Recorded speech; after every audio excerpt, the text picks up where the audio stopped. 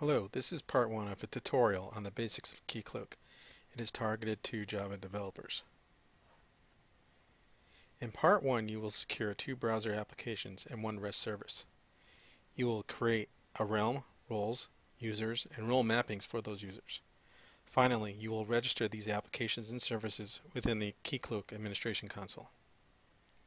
Here is a picture of what our secure deployment will look like when we get done with this tutorial.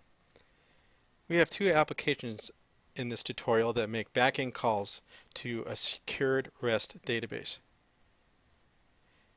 The customer portal is a simple web application that just display, displays a list of customers. The product portal is similar, but it displays a list of products. When the browser visits the customer portal site, the user will be redirected to the KeyCloak server to log in. Once the user is logged in, they are redirected back to the customer portal. Customer Portal obtains a token from the KeyCloak server from which it makes a secure background REST invocation to the database service to obtain the listing of customers and then it displays it. Product Portal works similarly um, except it it's getting a product list from the backend database REST service. So let's get to work. The first thing we're going to do is bring up the KeyCloak server. What I have done is I've downloaded and extracted the KeyCloak appliance distribution. This distribution contains a fully functional KeyCloak server. If you go to the KeyCloak appliance directory, you'll see a few subdirectories. I'm in it right now, so let's do an ls here. And you see we have an adapters directory, docs directory, examples, and KeyCloak. If you go, the, the server lives under this KeyCloak directory here. And the KeyCloak server in this distribution is based on the WildFly application server, which is the community upstream project of JBoss. To bring up the server, we'll go to the KeyCloak bin directory and uh, we'll type uh, standalone.sh. Hit return. For those of you who have developed on WildFly JBoss, this procedure will look very, very, very familiar to you. Now that we have started the server, we need to go to the KeyCloak administration console to set up the realm for our demo. Let's bring up a browser here.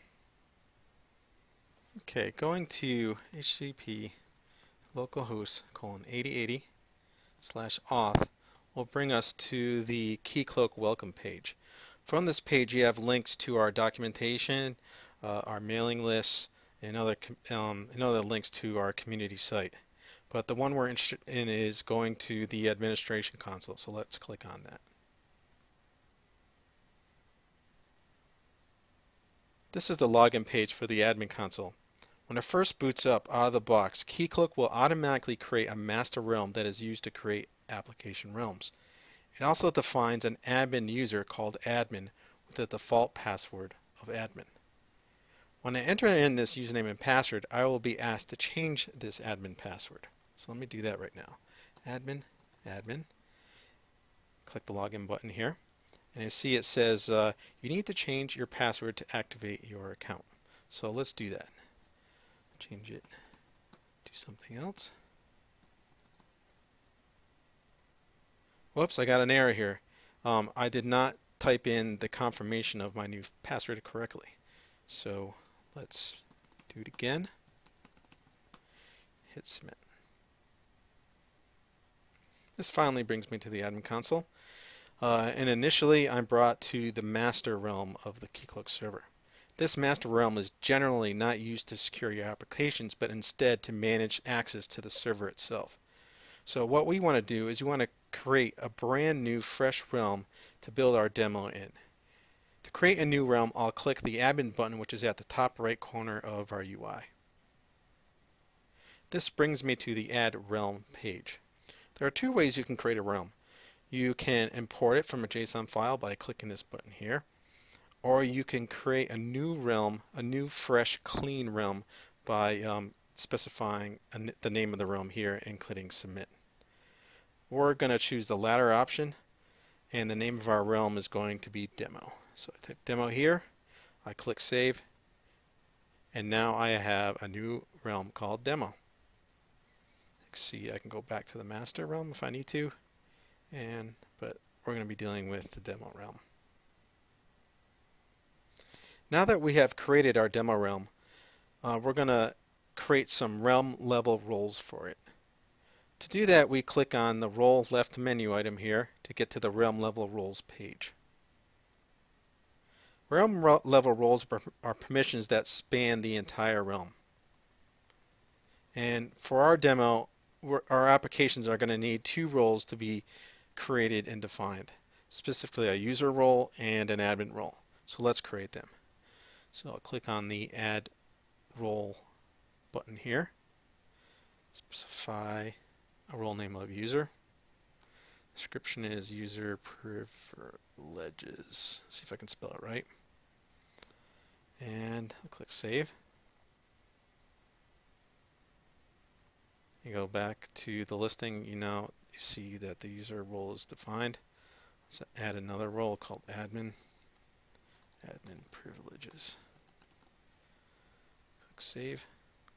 To the realm roles, and you see we have our admin role defined there too. Okay, the next thing we need to do is we're going to create a user that can actually log in and play with our demo. So we're going to go to the user's left side menu here. Okay, now that uh, we have created our roles, we need to create some users, some users that I can actually log in and view our applications. So to do that, we're going to click on the users menu item here, and you see we're brought to the user list page, and we're going to click the add user button. I'll specify username of bburke at redhat.com. My email will be the same thing. I'll put in my first name and my last name. One interesting thing about the admin console is that uh, it has a bunch of tooltips. If you look at the information icon here, if you um, put your mouse over that, you'll see a short description of what that particular menu item does. But anyway, we'll click Save here, and now I have a new user called bburke. The next thing we need to do is uh, we need to assign a password to bburke. So we're going to click on the Credentials menu item here. Um, there are two ways you can assign a password to a user. You can create a temporary password for them. In that case, it would be like uh, when we first logged into the admin console, we'll have to change the password when we first log in, or you can create a permanent one. And we're going to create a permanent one, so we're going to click temporary to be off. We're going to specify our new pass. We're going to specify the new password. We're going to confirm it, and we're going to set reset the password. Okay. Okay, so now we have a password for our user. Next thing we're going to do is set up role mappings for the user. We're going to give them permissions. And we're going to assign the user permission to this user. We'll click Assign Role. And you see that the user is assigned.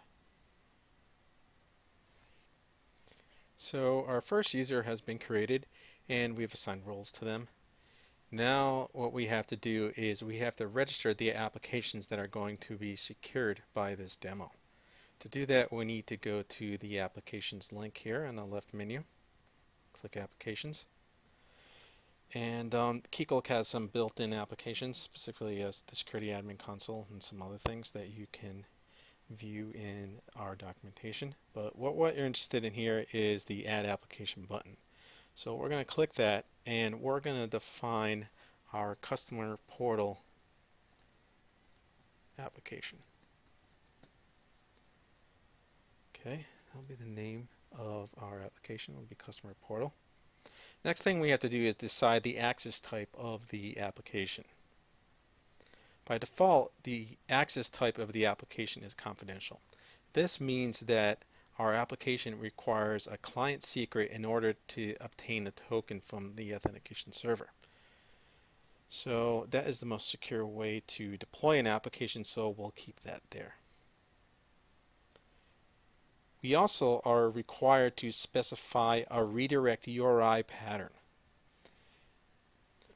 When a user requests a login to a specific application, they will, after they log in, they will be redirected back to a redirect URI that's specified by the application. You have to specify this. Other uh, KeyCloak requires you to specify this particular uh, URI. You can put in a relative URI if you want, and that's what we're going to do. This will be relative to the authentication server because I actually have um, the customer portal deployed on the same machine. So it'll be customer portal slash star. So basically any URLs that follow this particular pattern will be allowed to redirect back to the actual application. Click save here. Oh, I forgot to click add. Don't forget to click add. And then we'll click save here. Another thing I want to specify is the admin URL. This is a callback URL from the KeyCloak auth server to the application when it wants to push information to that application. Some things that it might want to push are might want to log out a specific user, might want to push a revocation policy, um, might want to get stats from the customer portal. Really, um, any administrative function will go through this particular URL. For JBoss deployments, for JBoss applications, you just need to specify the root URL of the application. Again, we can specify a relative URL or if it's on another machine, specify the uh, whole URL. Okay, we'll click Save. Okay, next thing we need to define is the product portal. We need to register that application. So we'll go back to the applications list. We'll click the Add Application button. Specify product portal. It'll also be confidential. We'll specify fully qualified URL this time.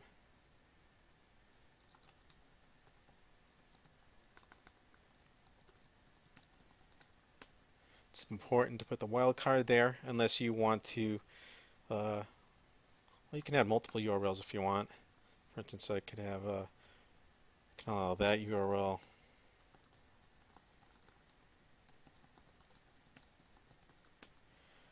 I'll add a wildcard too. So you can have you can have specific URLs or you can have wildcards there.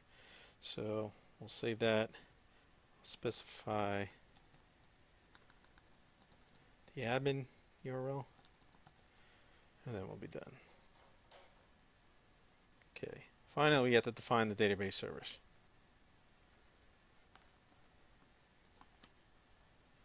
It, this service is a REST-only service.